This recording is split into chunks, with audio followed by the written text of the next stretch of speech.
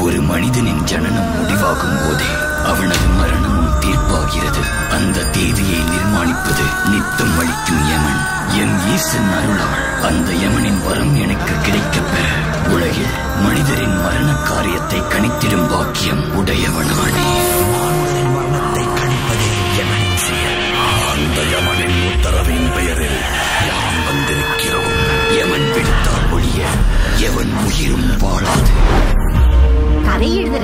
நிச்சயமா ஸ்டக் ஆகுவ அந்த நேரத்துல இந்த புக்கை ரெண்டு புரட்டு புரட்டு உனக்கு ஐடியா கிடைக்கும். உங்க தாத்தா குத்த புக்கு வேற. வில்லங்கம் கண்டிப்பா இருக்கும்.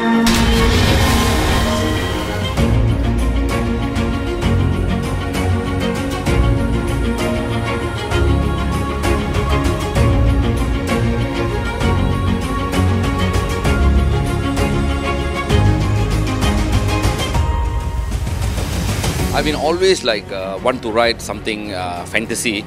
Macam movie-movie tempatan kita uh, biasanya lah kan uh, love lepas tu horror ada lah sikit-sikit kan. Tapi I I uh, banyak kali dah fikir nak buat filem macam magic magic ada computer grafik fantasi lah. Kita nak kita nak uh, apa berterima kasih kepada Finas lah. Pasal uh, filem ni bawa dana kandungan digital. So finally dia releasing in 7 March.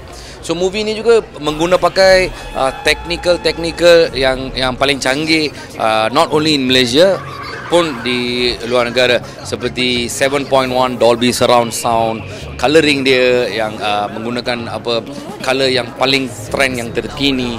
Untuk untuk uh, kita nak bawa uh, rakyat Malaysia ni nak masuk sinema sekarang ni benda yang susah tapi kita tengah kita tengah um, trying to do something so hopefully genre yang baru ni untuk buat uh, tempatan Malaysia ni so kita kenalah bagi chan untuk budak-budak kita datang ke sinema tengok dulu macam mana Sebenarnya uh, dia punya flow movie dia memang ingat lagi pasal kita baca the entire script.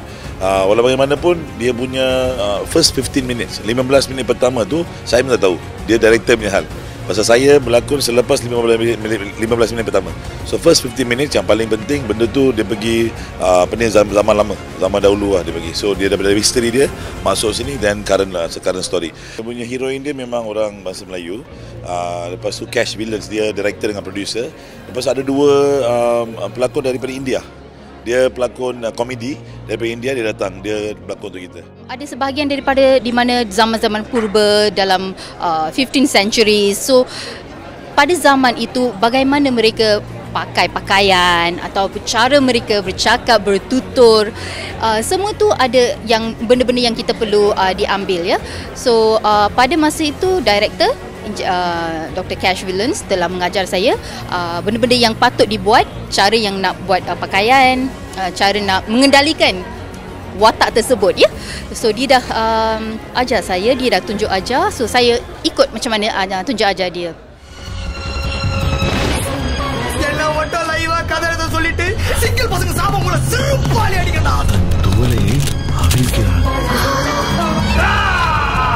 ஆவிங்க நம்ம கிட்ட பேசுறதுக்கு ஒரு ஆப்ஜெக்ட் தேவைப்படும் இந்த கதையை ஒரு ஆப்ஜெக்டா யூஸ் பண்ணிக்கலாம் இந்த கதையே இவன் தான்